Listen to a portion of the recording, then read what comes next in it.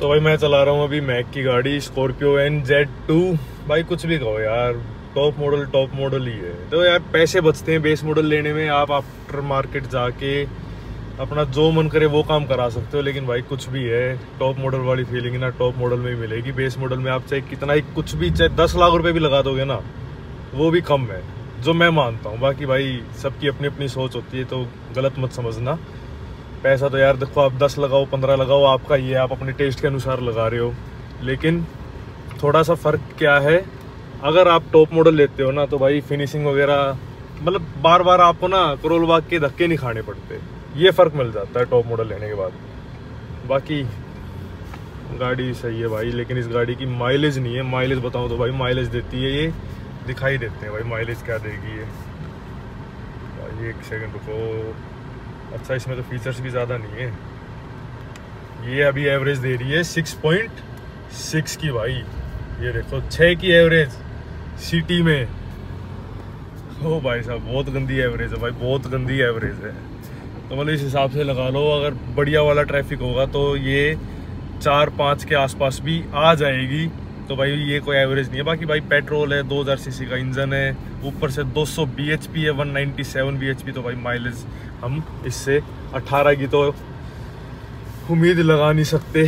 कुल मिला के भाई जिस हिसाब की गाड़ी है, उस हिसाब से छः सात की एवरेज काफ़ी बेकार है।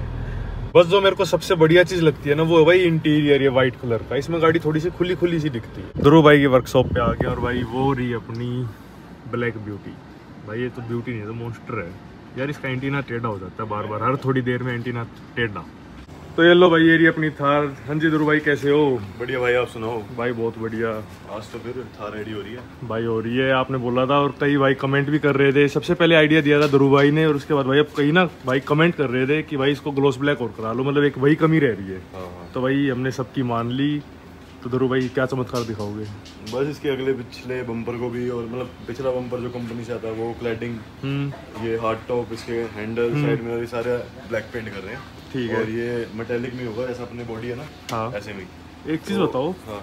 मतलब अगर कोई अगर दूसरे कलर कराना चाहे तो ठीक लगेगी?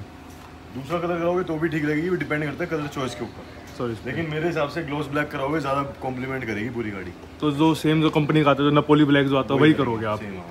ठीक है। और एक जो लाइन एक्सकोटिंग होती है वो कैसी रहती है? भाई लाइन एक्सपोर्टिंग होती बढ़िया है लेकिन उतनी डेली रफ चलनी भी चाहिए जिसका यूज़ ले पाओ। हम्म। वो तब कराने का और एक्सपेंसिव भी होती है। ऑफ़ रोडिंग वगैरह जो करते हैं मतलब उनके डेली ऑफ़ रोडिंग पे जाती है तो बात अलग है। तो सर एक चीज़ बताओ लेकिन उससे आदमी मेरे को ऐसा लगता है जल्दी उब जाएगा कि वो खुरदरी बहुत ज़्यादा हो जाएगी। होती है ऊपर से उस पे फिर मतलब बाद में साफ़ रखने में भी दिक्कत रहती है। मिट्टी वगैरह नहीं साफ़ होगी। इसमें भी अभी देख लो अगर इसको हम पेंट कर रहे हैं ना उसमें तो इसमें इतने जि- जितने ग्रेन हम्म। इसको एक बार पहले वो करना पड़ेगा पूरा कवर हमें मतलब पट्टी से बहुत माल लग रहा है इसमें। जो अभी ऊपर कर रहे हो। पाँच पाँच लीटर तो पट्टी पट्टी लगेगी पाँच लीटर। इस इस पे पाँच लीटर। इस इस पे उसके बाद ही बम्पर वगैरह अलग फिर इन पे अलग। हाँ इस पे तो कम लगेगी क्योंकि इस पे ग्रेन नहीं है इतने। हम्म। इस पे बहुत ग्रेन है। तो टोटल वही सात आठ लीटर के आसपास मान के चले क्योंकि पिछला बम्पर भी है। हाँ पिछले बम्पर है सारी क्लैडिंग्स हैं साइड मिरर है हैंडल है फिर ये वाले हैंडल हैं। हम्म। और ये है कि इसमें बहुत ज़्यादा लग रही है फिर ये वही छह सात लीटर ये पट्टी लगेगी। हाँ जी। बॉडी पिलर का थोड़ा बहुत यूज़ होगा। पिछला बम्पर आपका रिपेयर होने भेजा है। हम्म। वो रिपेयर होएगा उतारा हुआ वो टूटा हुआ। अच्छा ये टूटा हुआ था। हाँ टूटा हुआ रिपेयर होएगा। रिफ्लेक्टर इसके पीछे के ना हाँ आड़े टेढ़े लग रहे थे। हाँ। तो अभी क्या पता अभी तुम्हारे रिफ्लेक्टर भी चेंज ही करा देंगे इसमें। चलो। रिफ्लेक्टर पता रहे मैंने। तो चेंज ही करा लेते हैं। करा ही लेंगे ज़्यादा बढ़िया ठीक है। रिफ्लेक्टर चेंज कर लेंगे और बाकी तो भाई फिर पूरी गाड़ी तैयार हो जाएगी। पूरी बच्चा। भाई एक चीज़ कमी रह जाएगी। क्या? लिफ्ट बताओ लिफ्ट करानी चाहिए या नहीं करानी चाहिए? भाई लिफ्ट गाड़ी करा लेनी चाहिए। पर थोड़े टाइम पहले अभी ऐसे चला के देखे ना उसके बाद कराना भी एकदम से कराने का कोई फ़ायदा मतलब लिफ्ट कराना मतलब फ़ायदा होता है कुछ मतलब ऑफ़ के लिए होती है या लुक के लिए होती है?